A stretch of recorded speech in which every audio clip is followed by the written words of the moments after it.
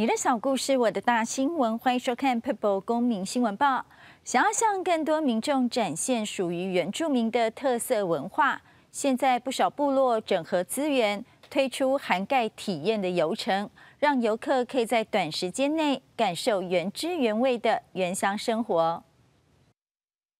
以原民文化再生为概念的源流新创聚落，园区内除展示传统的手工编织品与文创商品等。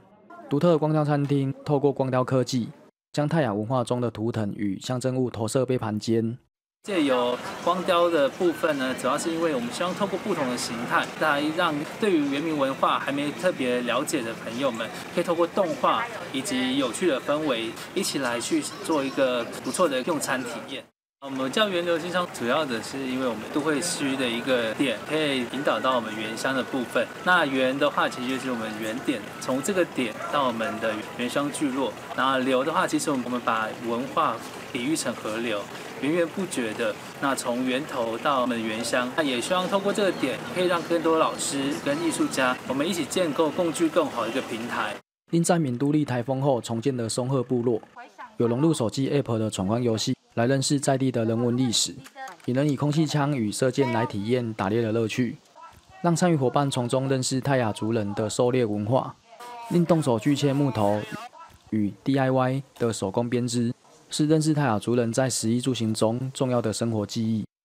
四年前，我们成立太好玩猎人体验营，我们那时候是太好玩工坊，但是为了区别跟其他部落不同，所以我们就发展了一项叫做部落闯关，结合我们泰雅族成年礼的这些的关卡来设计。然后呢，就是有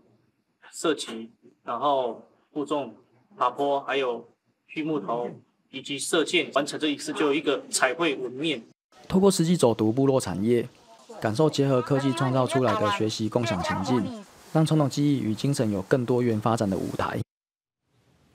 屏东县马家乡排湾部落的潘雅丽传承长辈延续下来的月桃编织手艺，在部落中创立工作室，让更多人可以透过她的作品认识属于排湾族的文化记忆。